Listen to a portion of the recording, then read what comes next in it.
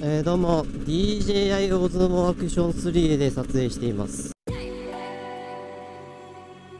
購入してもう10分ぐらいで出発しまして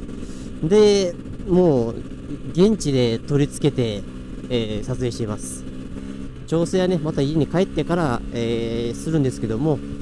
とりあえずねこうテストで撮影してみます。DJI この音質、えー、まあ、画質と、えー、どうでしょう。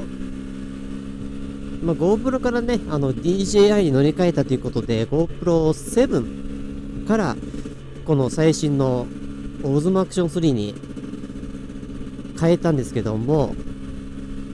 価格がね、えー、6万6000円ということで、えー、バッテリーがね、3つついてます。でね、バッテリーパック、バッテリーが3つとその充電できるケース、そして、えー、自撮り棒、などなど、いろいろと付属して6万6000円でした。最初はね、GoPro 11買おうかなと思ってたんですけど、まあ、価格が高いのと、こういう風にね、あの、POV、もうヘルメットに、まあ、ヘルメットとか、まあ、チェストマウント、胸とかにね、えー、つけるんですけど、もう限定的なんで、このバイクの撮影だと。他のね、えっと、使い道の人はまた GoPro が良かったりすると思うんですけど、まだこの DJI の決め手っていうのがありまして、どうしてこの DJI にしたのか。それはですね、マグネット。この GoPro 本体とこの取り付けるアダプタですよね。それが磁石でパチンとつくんですよ。で、わざわざ、この、外すときにネジを回さなくていいっていう。今までだったら GoPro だったらネジがついてて、それをくるくるくるっと回して取り外してたんですけども、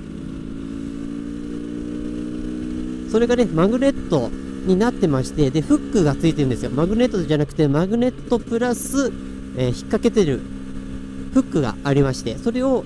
あの、洗濯バサミみたいにね、あの、挟んでるんですけど、取り外すときは、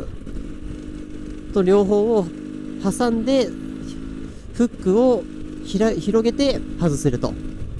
これがめちゃくちゃ便利で、例えばヘルメットにつけててカメラだけ取り外そうというのにもそれを、それが使えると。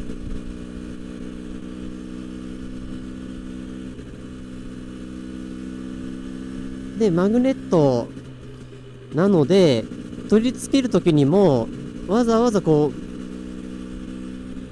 今までだったらヘルメットを脱いでからつけてたのが、もうヘルメットかぶったまんま、もうパチンとできるようになりました。磁石なんで吸い付くんですよね。なので、もう普通に目視せずに手探りでパチッとできるので、これ非常に便利。で、やっぱ外出面においては GoPro の方が軍配は上がるらしいんですけども、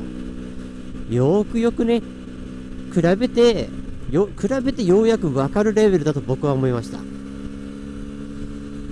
そんな専門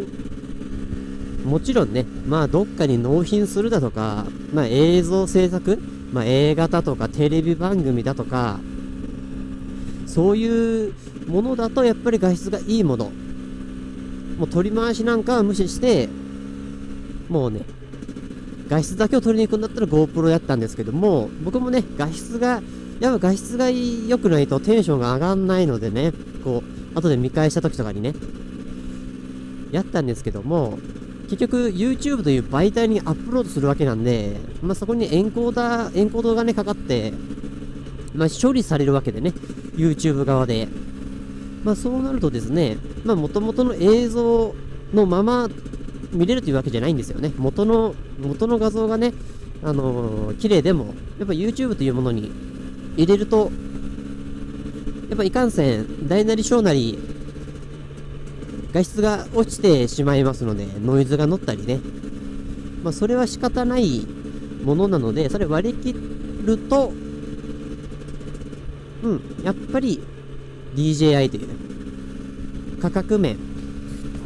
で、利便性、脱着ですよね。脱着面。うん、価格脱着。うん、価格と脱着ですか。まあそういうことですよね。まあ今回はね、音質、もしかして音割れしてる可能性があるので、ちょっとこれ、ヘルメット助けて。うん、うん、もうこれ、うん。